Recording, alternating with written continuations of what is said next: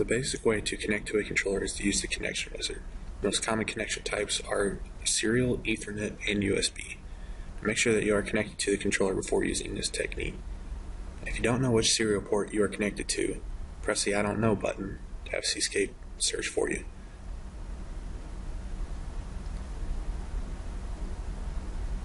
If you are connected over Ethernet, you will need to enter in the IP address of the controller first, then choose your connection mode. ETN Ethernet mode is for controllers with embedded Ethernet. GSM GPRS is for controllers with an installed SIM card modem. And XEC Ethernet mode is for controllers that have an Ethernet add-on card. If you are using a USB cable or USB to serial adapter, you'll want to use the USB option. If your device is recognized, it will show up in the drop-down list. If not, you may want to check your device manager to see if it is truly installed.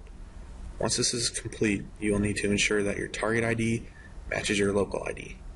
The local ID is the controller that you are physically connected to. The target ID is what Cscape is looking for. Now you can click here to change your target ID.